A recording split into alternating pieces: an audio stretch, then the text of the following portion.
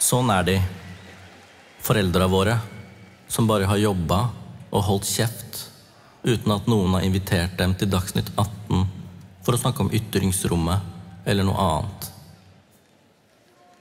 For dem som prøver å forberede seg på å dø i et fremmed land, har den klissete kaka eller koppen med altfor søt te vært den billigste og raskeste billetten hjem. Sorgen når en forelder er i ferd med å forsvinne, er selvfølgelig ikke forbeholdt oss migrantbarn, men den får et ekstra lag hos oss. Kanskje fordi vi mister vår viktigste kobling til en del av verden som de tok med hit. Vi, barna deres, er troende og troløse.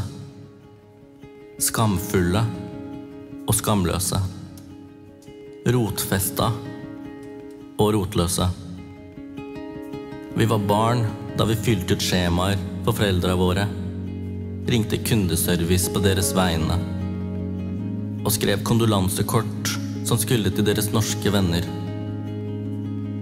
Vi var barn der resten av Norge lo av sketsjer der det eneste poenget var at folk snakka som foreldra våre gjorde.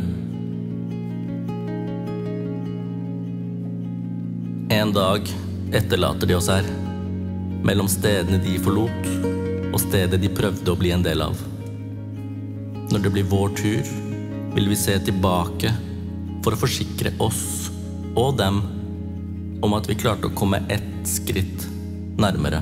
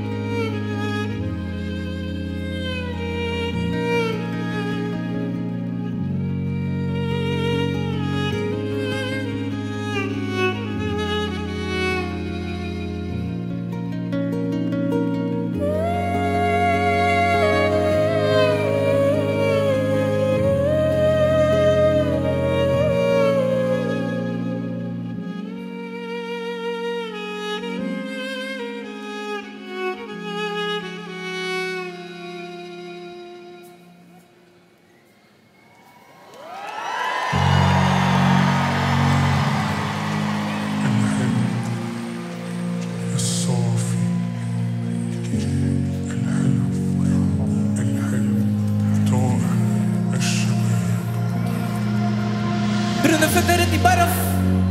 Nå vi drikker vin ut av karaffel. Hårete må tarantell. Drikker press joke som tarantell. Tarantell, tar- tarantell. Brune føtter i baraff. Mer champagne, mer chapli. Med gabbelo, babbelo og bandi. Brune føtter i baraff. Nå vi drikker vin ut av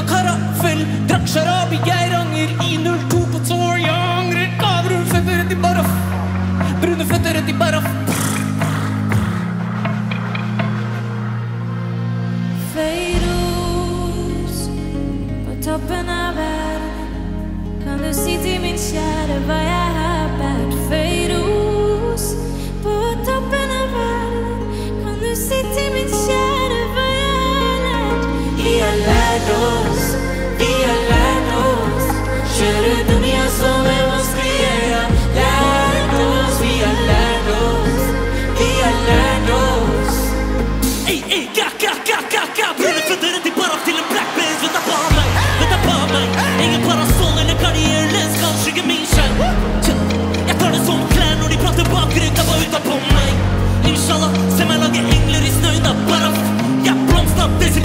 troppo che hai, No, se non vive la mia.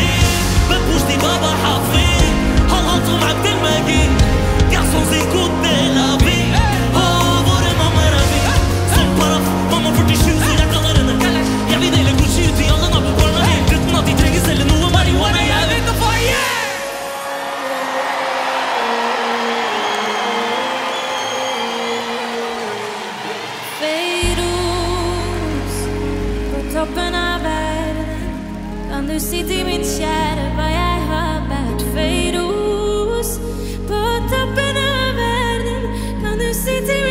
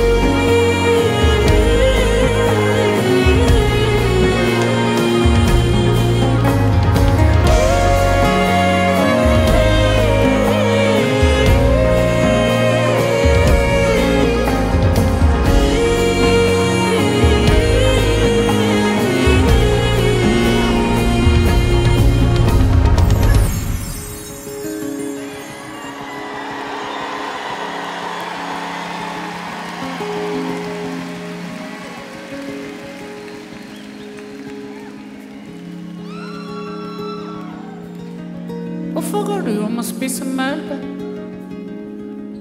Hvorfor må du tappe til sjel? Hvorfor går du ut av blokka så sjelden? Hvorfor tror du at alt dette skjer?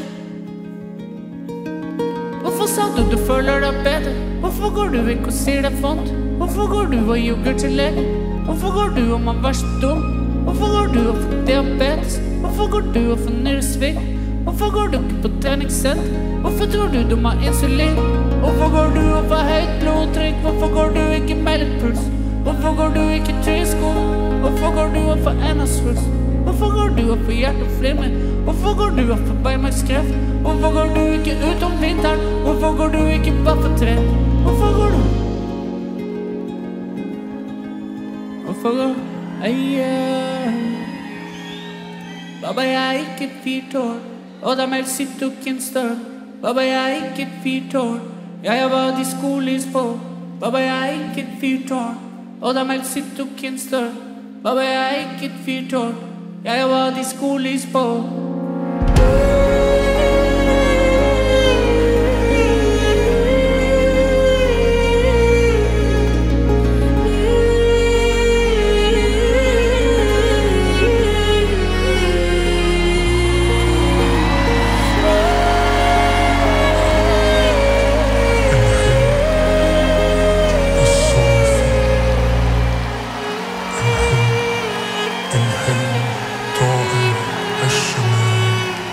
Jonas Benjov, Emilie Nicolas, Harpreet Bansal.